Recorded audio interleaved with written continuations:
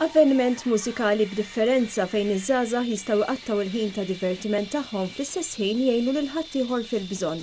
Dan huwa l-għan prinċipali tal-Massive Dance Music Festival li se jsir nhar l-ewwel ta' Mejju li ġej, fejn minkejja li d-dħul se jkun b'xejn, dawk li se jattendu qed jiġu mħeġġa biex jagħtu d-donazzjoni tagħhom b'risq il-Millennium Chapel Foundation.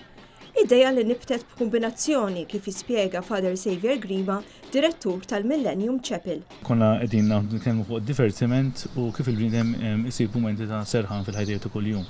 U kien hemm DJ Armani fuq il-programm u minn hemm sema' dik inhar li l-Millennium Chapel, il-VJs ma tant istenna mistess ssir. Qalli, nixtieq nagħmlu xi ħaġa flimkien. Qalli, għaliex nixtiequ ngħinu xi ħaġa b'mod konkret li dal-familji intom qed taħdmu magħhom.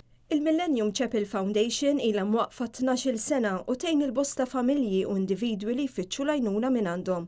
Għal dan il-għan ġew organizzati diversi attivitajiet u twettqu proġetti grazzi għal numru sabiħ ta' voluntieri li jagħtu s-sehem tagħhom.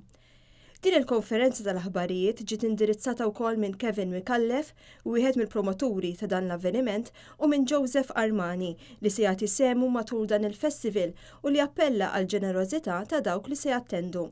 Dwar dis-sena għandna ħafna, għandna lil Sander Van Doorn, huwa wieħed mil-leading DJs around the world, għandna lil Mikka Stenhodt li huwa upcoming DJ minn Sweden, li bħal da żmien sena ħa jisimgħu ħafna ħafna ħafna nies fuqu.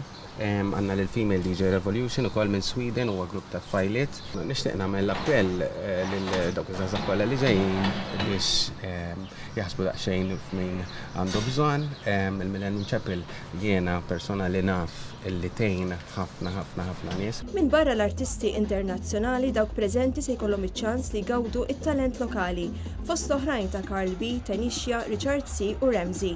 Il-festival jibda l-Erbgħa warnofsinhar fis-sagħtejn u jibqa' għaddej sa kmieni filgħodu.